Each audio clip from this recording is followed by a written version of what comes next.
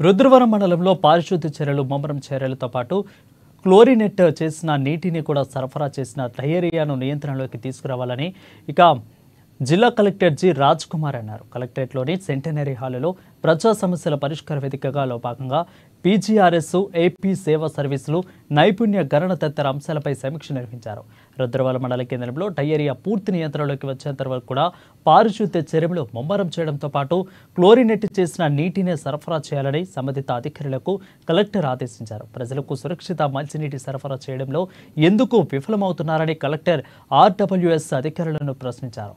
ఇక అంతకంటే ముందు అవినీతి నిరోధక వార్షోత్సవ సందర్భంగా కలెక్టర్ కలెక్టరేట్లో ఏవో రవికుమార్ అవినీతి నిర్మూలనపై అధికారులందరిచే ప్రతిజ్ఞ చేయించారు.